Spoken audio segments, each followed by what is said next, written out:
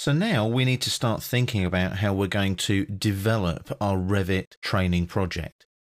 So we've still got training project open, as you can see at the top of the screen there.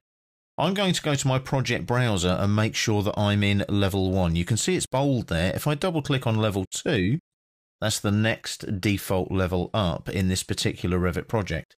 I want to be at level one. That's going to be my ground floor level. So what I can do now is start thinking about utilizing some 2D CAD drawings as a base for my Revit project. This is the benefit of all the Autodesk products. You can bring in something like an AutoCAD drawing and you can utilize that and Revit will pick up the information. It will pick up the grid lines, for example, and the column centers and so on. So let's have a look at how we import a DWG file.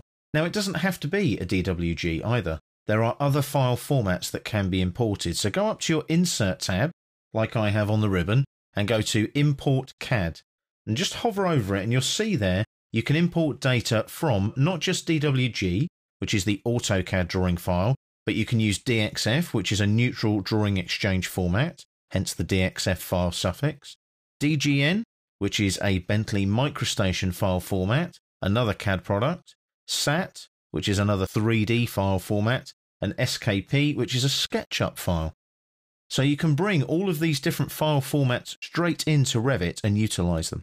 So if I click on Import CAD, what happens? It goes to my projects folder, it knows where I saved my Revit project, and it goes there first.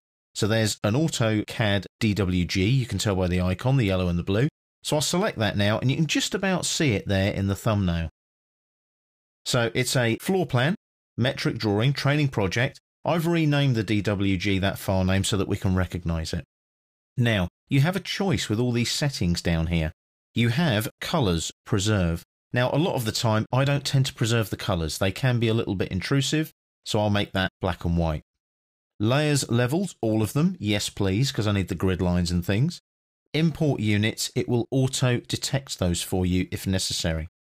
It will also correct lines that are slightly off axis. So if you've got a grid line that's slightly wonky, slightly askew, it will correct those lines for you that aren't lined up, either vertically or horizontally, grid lines, for example. Positioning, you can go auto center to center or auto origin to origin. Origin to origin is good, and auto is even better because you don't have to think about it.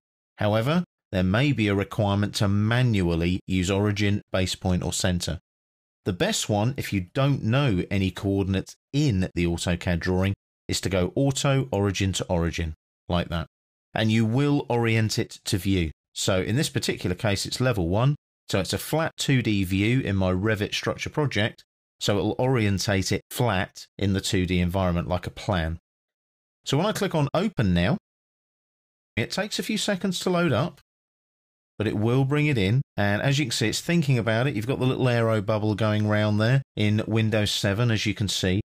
And it's loading up my CAD file. Now, this does take a little bit of time because it's going and finding that file, finding all the information from that file. And as you can see, it's processing it, and there it is there.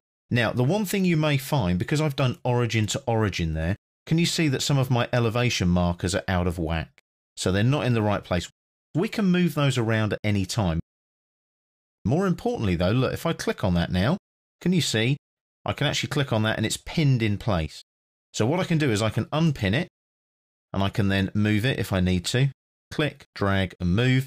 Now I haven't actually got any given coordinates here, so I'll just line that up so it's just inside those markers like that. And then I'll repin it again. And these markers now can actually be moved. So if I now just pan down a bit, zoom in a bit, and I can click on that marker there and I want to move it. So I click and I can drag it and I can move it if need be. So I'll just select it like that, click and drag, and I'll just pop that about there like that. So that's my north elevation. And I'll just pan again, zoom in. Best way, select everything using a window like that. But they're all lined in, double click there to zoom extents, and you've got everything in place. You've got your CAD drawing sitting there, ready for you to start placing things like grids. Now, all of this is AutoCAD information.